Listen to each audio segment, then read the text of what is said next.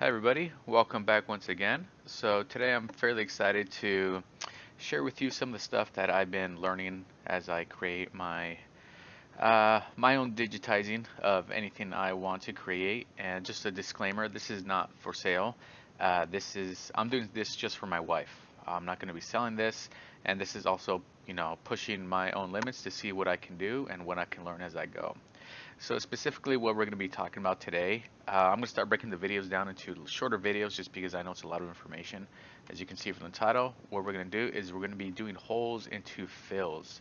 Uh, I learned this just the hard way, trial and error, so let's get into it and I'll show you what I did. As you can tell, this background is not very, uh, it's not very crisp. The quality, there's not enough pixels, so it's very blurry. So I'm going to have to do my best to figure out exactly where these lines belong. Um, but the biggest challenge was uh, trying to use this quick stitch and hole. It just became a mess. I could not get it to do anything properly. So this is where you know the ex experience and the knowledge in using this program comes in comes in handy. You stop relying so much on these quick tools and are able to do things uh, pretty efficiently without uh, with your own knowledge. Yeah. So let's go to Point Create and we're just going to create this border around here and we'll give it best our best shot to figure out exactly you know what makes sense for this design. Here looks good. Uh, looks okay. Edge curve edge. We'll turn this one to an edge. And we'll shift it a little bit okay cool. Oop, let me change this color over here. I want it to actually be the gold. So pull it up here. There we go. Okay, so it, it's decent. Um, let's go ahead and clean up this up a little bit. I, I, can already tell this is a little bit lopsided. That's okay, but we'll fix it. Um, so I'm dragging that. I'm going to get rid of this just to match this side, and I'll make this one an edge as well.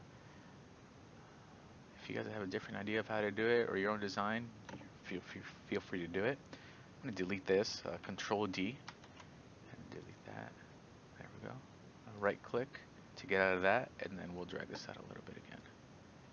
I'm going to keep repeating the quick commands to you guys just so you guys can learn how to do this as well. So you guys aren't wondering what I'm clicking. There we go. And then just as a quick reminder, whenever I drag this, you do have to hold shift to keep it as an edge. Okay, so let's get back into it. So one of the things I tried to do initially, and I think it's the the inability of the machine to create a satin stitch and create such tiny gaps, um, was I have to create this as a fill.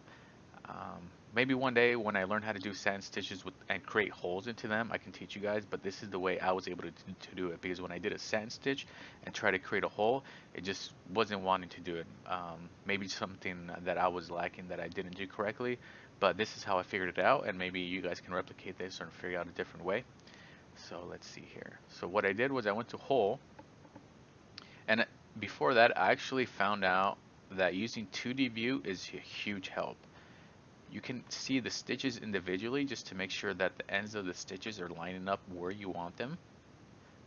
And also you can see the background as well. So here we can start making the holes. Um, just for your information object view is just going to trace out the, the outline of your stitching. So it might be a little bit hard to see but you can see it there and even on these satin stitches out here. So we're going to change it to 2D view just to give us a good idea and you'll see why I like to use 2D so let's go right.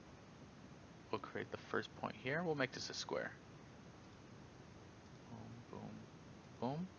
And I'm holding shift this hole time and then right click and that creates the gap. See, I already created a bit pretty, I think I nailed it pretty good. So there you go, nice little gap. Let's go to point create again, make sure whole, usually the last tool you selected is still being used, so we'll click, click, click, click, and oops, line this up a little bit, make it nice and even, make our best effort to make it nice. There we go. Perfect. Nice. Uh, obviously, these little guys right here, we'll just, you know, do this. You can curve it if you want, if your design needs requires that. Oh, looks kind of weird. It's okay. There you go. Pretty simple, right? One thing I will let you guys know, if you make your square too small, it might not work. So let's, and it also depends on the direction of your stitching. So if I try to make a tiny little hole, that's not going to work, see? So sometimes, depending on your design, you might have to make it a little bit bigger. And in this view, you can see where the embroidery machine is going to plan to do stitches at least. And then you can kind of get a better idea of how that's going to go. Okay, so that's that. Let's see here. Let's go to 3D view. That looks pretty good. Let's check it out in the in this view right here. Yeah, not bad. Alright guys, so once again, please do leave me a comment if you guys want any other information uh, as far as this program goes. I'm still learning as I go.